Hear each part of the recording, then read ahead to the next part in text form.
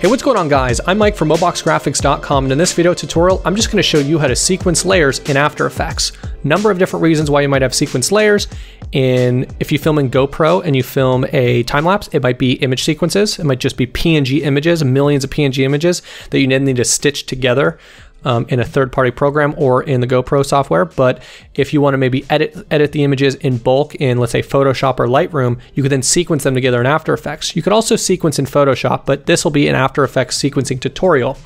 So um, another reason why you might have to sequence layers if you, for example, render in um, Cinema 4D, you might want to then import into After Effects um, the Cinema 4D render, but they might be in an image sequence. So let's just jump right in and show you how to image sequence these images. So go to File, Import, File.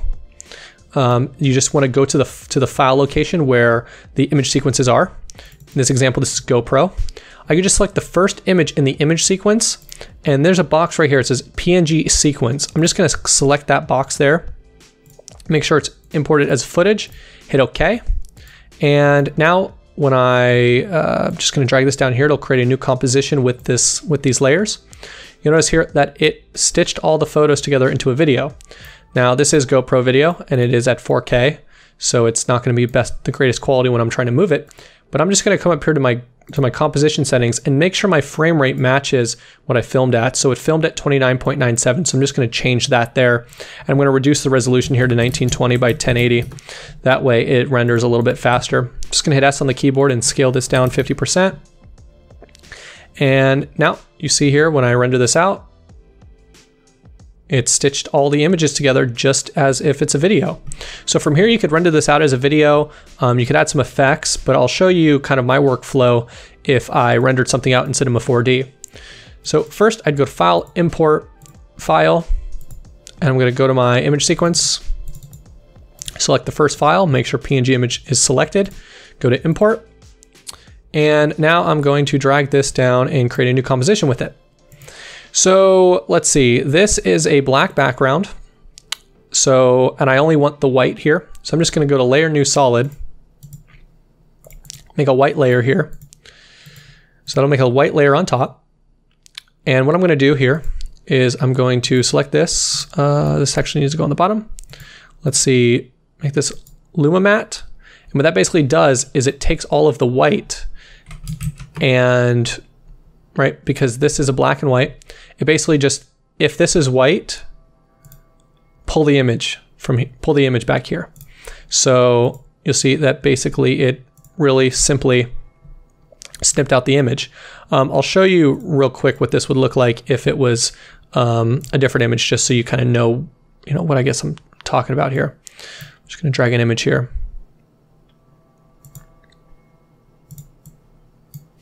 For instance, let's say I had this image. I went to Luma, Luma inverted. Uh, let's see.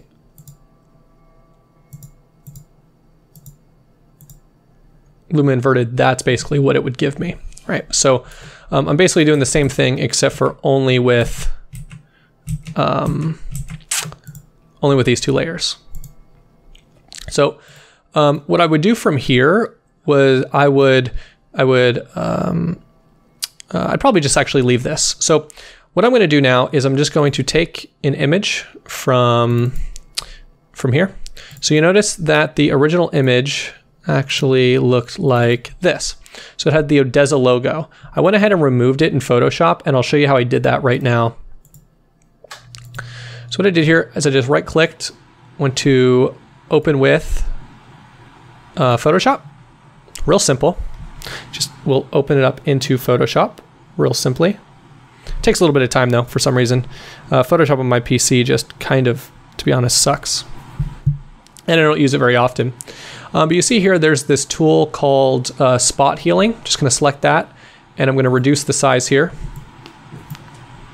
That size looks good. And I'm just gonna just color in this white area where the logo is.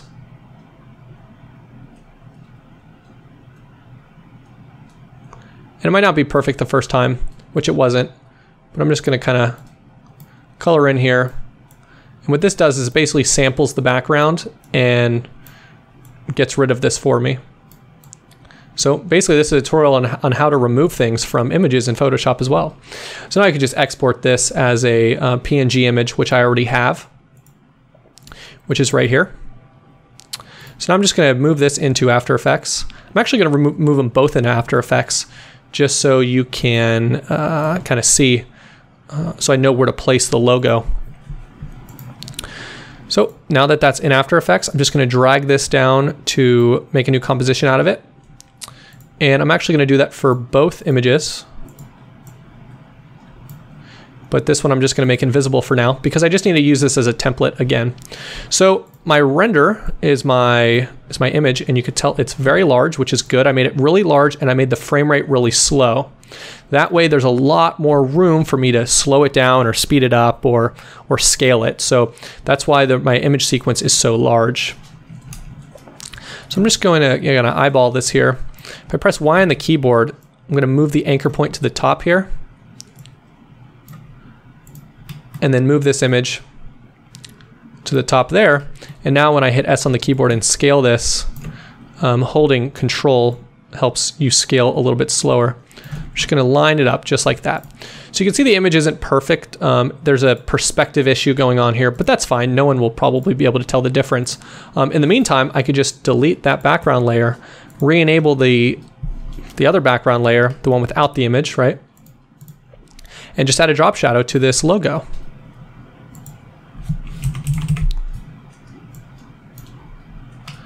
And I'm gonna set the direction to 180. That way the shadow goes directly down. I'm maybe going to increase the distance a little bit. Maybe add a little bit of softness to it. And that looks pretty good. It almost looks just like the original. So um, here's where things get a little tricky. Again, this is moving really slowly. I don't want it to move that slowly. So what I could do here is I can probably come up to composition settings. I'm going to increase this to like 60 seconds. And let's see, did it make a full spin yet? So I'm just going to right click this, go to time, enable time remapping. So I have a keyframe when it starts. And I'm going to spin it until it gets to makes a full spin, which it didn't quite make a full spin on here. So I'm going to again increase this to another 60. Give me another minute. There it is. That looks like that's the end there, which is what I want. And let me just ensure that this is only one spin. Yep, that's one spin. So I can come here and just move this keyframe over. So basically what that does is it sets a keyframe at the beginning, a keyframe at the end of the composition, and you notice it disappears. So um, I could now reduce this composition size back down to my desired 10 seconds, maybe even 5 seconds. Yeah, 10 seconds looks good. We'll do 10 seconds. We'll see. And now what I can do is I can come up to maybe, I don't know, two seconds, maybe two and a half seconds. Move this keyframe over. If I hold Alt and click on that keyframe timestamp, I could just type in loop, loop out, and I'm gonna do um, cycle. And what this will do is it'll cycle these keyframes just like that. Now again, because this isn't spinning on the perfect axis, um, what I'm going to do here is I'm going to add a rotation to this keyframe, U, J on the K on the keyboard to bounce to that keyframe. And I'm just going to give this one spin on its Z direction. And that looks terrible. And the reason is because the anchor point's in the center. I'm just going to move the anchor point into, the anchor point's not in the center. So I'm going to do, I'm just going to drag this anchor point down to the center there. And now it should spin on that axis as well as that axis. And that looks pretty good. Uh, I'm just going to loop this as well.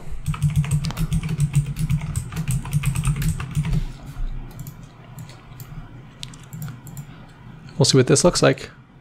And that is spinning extraordinarily fast. Let's see if we can't. That looks pretty cool um, at that speed. So at 10 seconds, one rotation, I think I think that's probably where where we should be. I'm just going to render this out and see what this looks like and see if this cycles properly. It should cycle perfectly.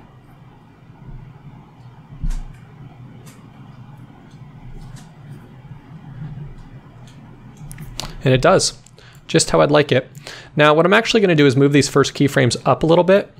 And I kind of want, maybe add a little bit of animation here to this and give it like a second to kind of start. So let's see, I can uh, maybe add old TV or just search, probably search effects TV. That looks terrible. Just gonna hit Control Z. Be weak. Might look better.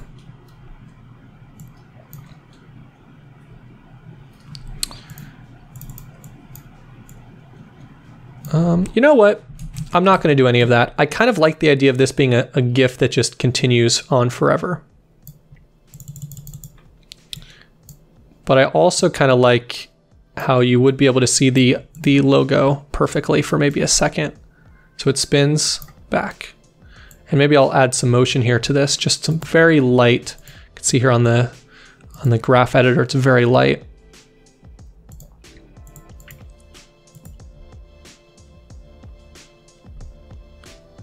And that looks pretty freaking cool.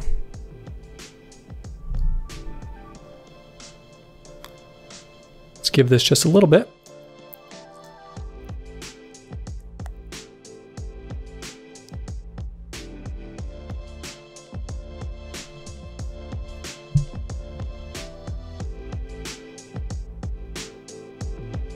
And I'm a pretty big fan. So from here, I could just render this out as, you know, however I'd want to render out, maybe as a GIF. Um, there are other types I could render this out as, but uh, anyways, that's just how you sequence images in After Effects and kind of the workflow that I would use to pull stuff from from um, Cinema 4D into After Effects as an image sequence and then change the duration. So the big thing to note about exporting from Cinema 4D is I always export at really high frame rates so that way I could I could shrink it and extend it as much as I want. If I'm rendering out at 30 frames a second here, I might render it out in Cinema 4D at 120 frames per second. So, and I do it very large so I could scale it down and everything looks nice and crisp still. So anyways, guys, I hope you did enjoy this video. If you did, please be sure to give this video a like, subscribe, and check out other videos on screen. Anyways, guys, thanks for watching.